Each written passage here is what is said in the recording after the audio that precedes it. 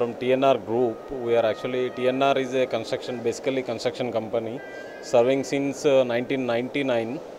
Almost around uh, they made uh, 2,000 apartments uh, for the very very good apartments, and uh, they also have ready mix concrete plants also. In that view, they started recently UPVC windows and doors. They are taking profile from Veka. Again, UPVC is a unplasticized polyvinyl chloride.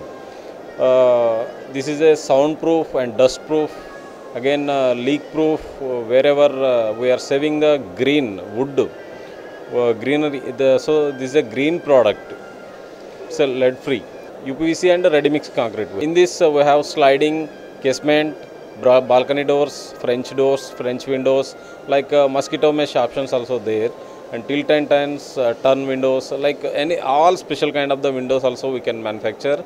And our uh, plant is established as a South India's biggest manufacturing unit uh, by using uh, robotic technology.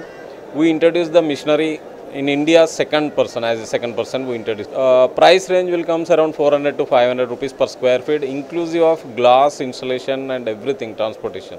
This is the first time we are participating. Yeah, customers are uh, very well. Yesterday, almost 20 people are invited to take the measurements to start the process.